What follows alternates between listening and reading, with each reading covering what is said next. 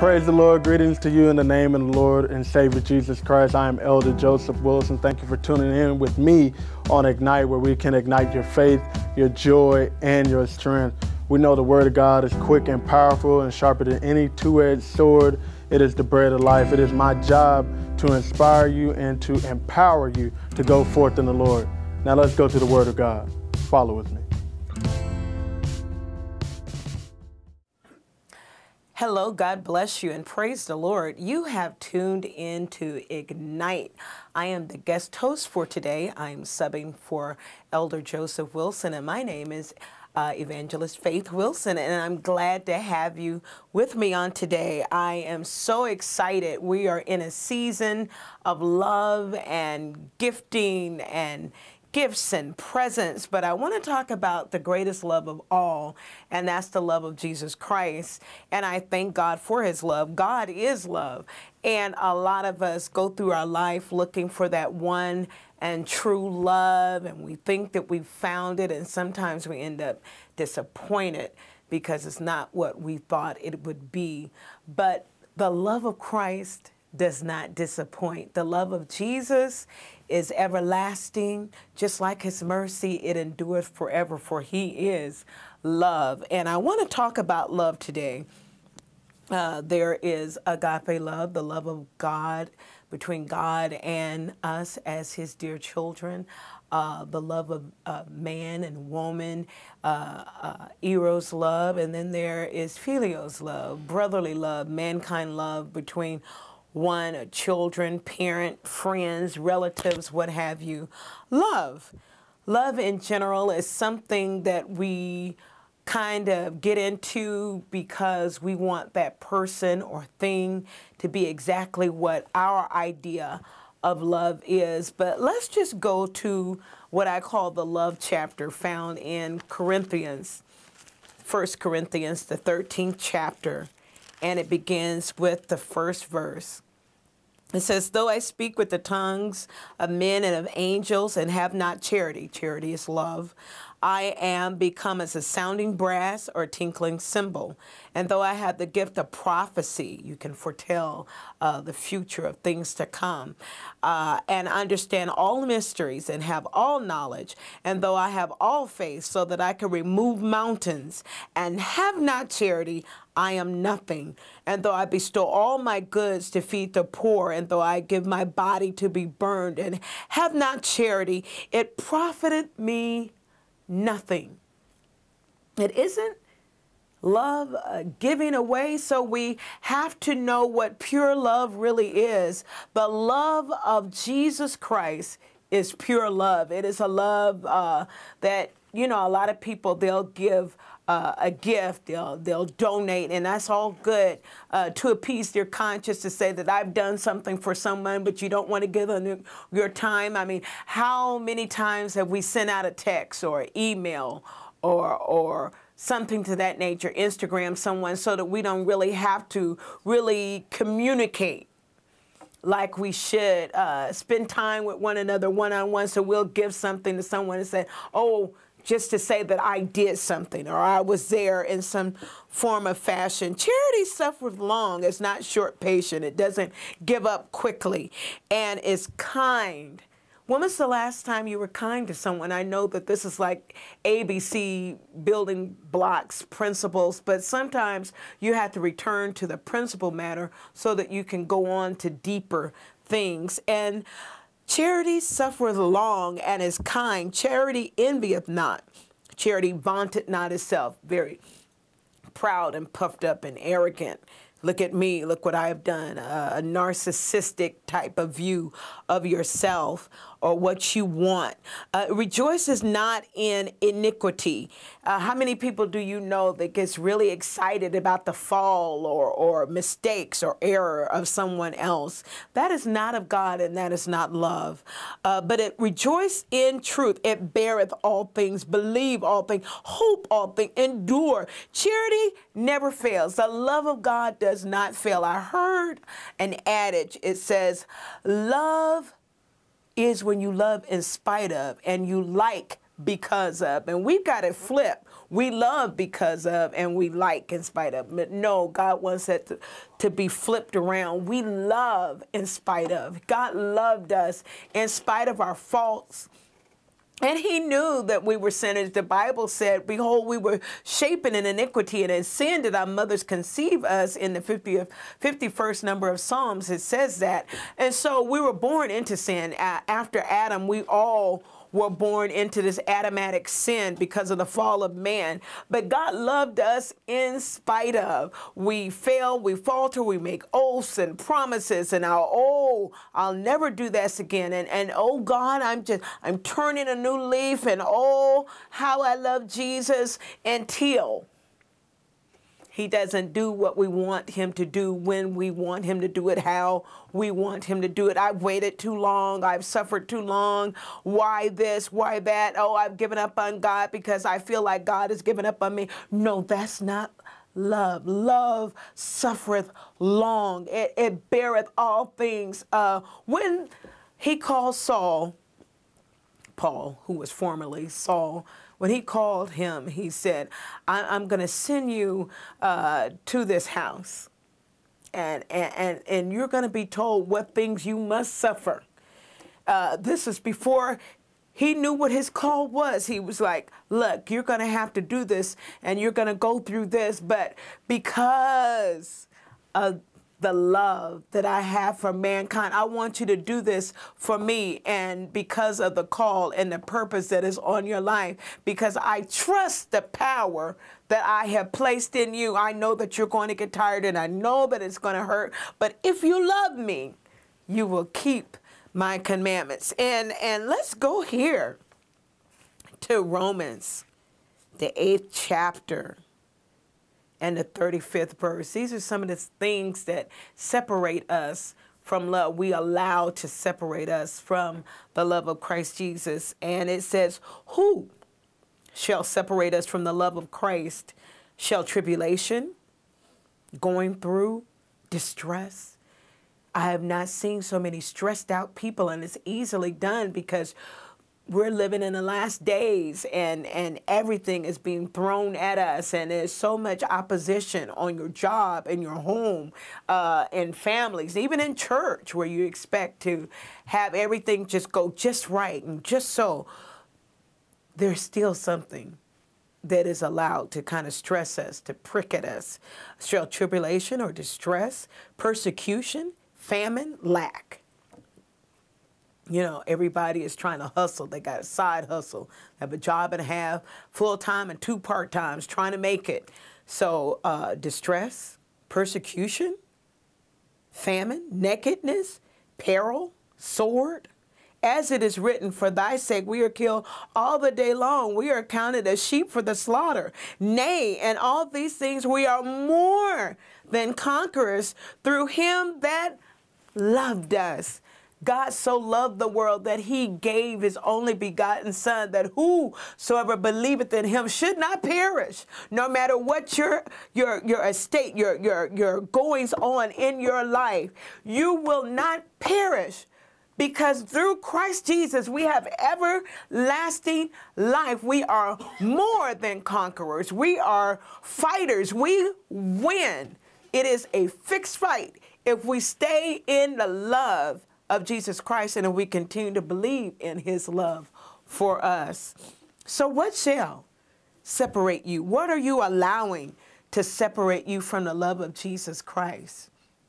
He's saying, wait a minute, don't you love me more than these? He said this to, to Peter. He said this in the 21st chapter of St. John. He was talking to Peter and he was trying to get his attention as to what will face him. Do you love me, Peter? We say that we love Jesus, and oh, how I love Jesus. Because he first loved me. And it's a beautiful song, and we get caught up in the moment. But do you love him more than these? Said in the 21st chapter of St. John, it says, So when they have dined, Jesus said to Simon Peter, Simon, son of Jonas, Lovest thou me more than these? What is your these? Is it your new job? You've been promoted. Uh, you're making more money. You have a, a, great swelling title. Uh, you've been elevated in ministry. Your title isn't deacon anymore. You're now an elder or a minister, or you're you moved and you're up in evangelism. And oh, the pastor called my name more than once or twice. And and my goodness, do you love Jesus more than your title, more than your position? Uh, are you trying to please? the pastor or your congregation or your your friends or your loved ones more than Jesus Christ? What is your motive? What is it that drives you to do what you do? Is it for self gratification and glory, or is it because you love Jesus? says Simon, son of Jonas, lovest thou me more than these? He said unto me, Oh, yeah, Lord. We're saying, yes, Lord, I go to church, I, I, I go to Sunday school, I go to Bible study, I sing in a choir, I do this, I donate, and I do la la la la la la la. But do you love me more than these? Will you continue to go to church if your name isn't called? Will you continue to serve even though you don't get position? Do you love me more than these? If your job uh, is discontinued at, at your place, uh, uh, is your career, you get a setback. Do you love God in spite of? If your if your car is repossessed or, or, or you had to move into a home that isn't up to the estate and grandeur that you're accustomed to or people associate you with, do you love it? Do you love it more than you love Jesus? Are you willing to show the love in spite of God? I'm going through, but I love you. My husband and I, we we made a pact decades ago that we vowed to keep falling in love because you have to learn to love in the lull time, the L U L L, when things are just kind of in neutral. Nothing exciting and wonderful is happening and and even in your going throughs, you got to reconnect, refall in love with Jesus. And so that's what we do with one another. We, we say, you know, he knows that I love, my thing is chocolate. I love chocolate. And I, I, tell him, I love you more than chocolate. I love you more than shopping. I love you more than my favorite food, this or that. I just love you. And I notoriously, uh, unabashedly flirt with my husband to let him know that I am still interested in him. I am still attracted to him. He still holds my attention. And I and God was like, "This is what I need out of you." I still need your attention, your love. I need you to still chase me, to let me know that you're still intrigued with me.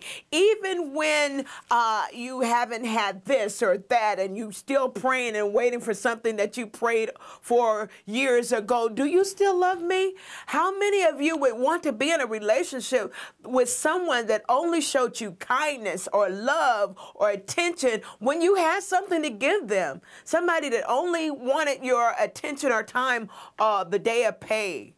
When you get paid, here they are. Or the week that you're about to get paid. Ooh, hey, you were on my mind. I just wanted to call you and say, hey, let's hang out. Let's do something together. And you already know it's because you have something that they want. I think everybody has that person that only calls when they want something. Uh, in the world, I, I don't know if they say it anymore, but they used to call it a, a, a booty call. Excuse my French. Uh, a guy would only call when you know he had an itch that he wanted you to scratch and other than that you didn't get his time or attention or or if he came over it was it was at night when when no one else was around nobody could see what no one with good sense wants that kind of love, wants that kind of attention. Uh, so why is it that we feel all right with doing that with God? We only call Him when we want some our, our, our, our parent or our child is sick or I'm sick, oh, you just received uh, a word about the cancer scare or, or, or you know, I, I've been diagnosed with congestive heart failure. I found out I have diabetes. Or, and then people get real pitiful and then they come to church and, and they ask, they get in the line, they get prayer and they call and harass people. I need you to pray with me. Are you praying? I need you to fast. And, and then after God does and he performs the work, you don't see him anymore.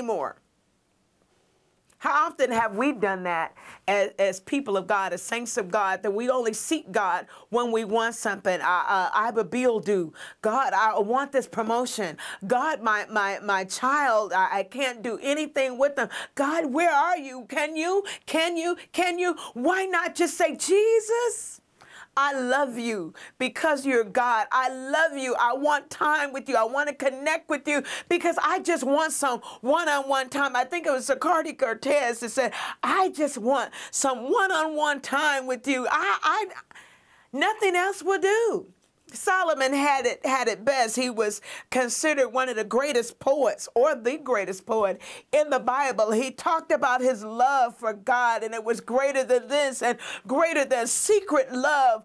How can we reconnect and, and show our love with Jesus? I, I get up during the middle of the night and I'm like, Lord, oh, how I love you. I just want to call your name. You know how we are when we fall in love. Just the mere mention of the person whom we're in love with puts a big goofy smile on our face and, and we talk find ways to talk about that person or to bring their name up. We want to be where they are. We just show up where we think they're going to be because we want to be in that person's presence. And it just makes our whole day complete. And you can conversate, you'll get on the phone and, and minutes have become hours. And, and I'm telling you, and you don't even care because you're talking to the person that you have grown this. It went from infatuation to a deep impenetrable love and we need that with Jesus. And you know, we we we time God and we get down there or we'll recite the Lord's Prayer, Our Father which art in heaven, and that that's fine. But you need to go on from there uh, how aggravating is it for someone just say, "Hey, how you doing? Uh, I just want to see how you were doing. You doing all right? Okay, great. All right, I'll see you. Talk to you next time." And you you can't even get anything out. You you're wanting to say some more, and before you know it, they're gone. They hung up or whatever, or they sent out a text so they don't have to be bothered with a real conversation with you. But when you are in love, you make time. He like, uh-huh, everybody else comes in second and third because you've got to spend time with that person. You don't pencil in the time. The time is just there. You're like, I, I'll talk to you later. I, I, I'll see you when I can, but I got to get to so and so because you want that time with the person you love. And you don't care if the seconds turn to minutes or the minutes turn to hours. As a matter of fact, you want it that way all the time that you can. And you find yourself, you don't want them to go home. You don't want to go home. Can't you stay? Don't you want some stay time with Jesus? Let him come in and have sup with you and, and stay and, uh, and abide with you and you abide with him. And it is so wonderful. You find yourself telling, let me tell you about Jesus. He is the best thing that ever happened to me. Nothing compares to the love I have with Jesus. Back in the day, I believe in the 60s, uh, I believe it was the Four Tops that said, ain't no woman like the woman I got. And we should be like that about Jesus. Ain't no God like the God I got. The God I serve is able. He is love. He is powerful. He is omnipotent. He is almighty God. He is the Prince of Peace, the everlasting Father, the great I am. He is Jehovah Rapha, my healer. He is Jehovah Jireh, my provider. He is Jehovah Nissi. He is the God that is there when you don't have peace. He is the Prince of Peace. He is Jehovah Jehovah Shalom.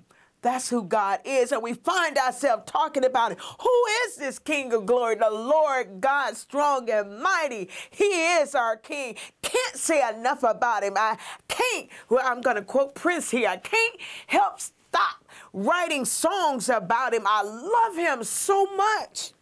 I know it's only been three hours, but I love it when I call his name. It's no name under the heavens whereby we must be saved, saved from whatever that you're captive to. He came to set us free. His love does that not because we're worthy, not because uh, we merit his love, but because he is our Father, our Savior, our Creator. It is he that has made us and not we ourselves. We are his people and the sheep of his pasture, and he loves us so much. Uh, a real parent, I don't care how frustrated their child makes them or how angry they are their child. They're always there for their child. I have three, and I'm crazy about all three Hannah, Michael, and Joseph. And they've all done things to anger, disappoint, frustrate, give me sleepless nights.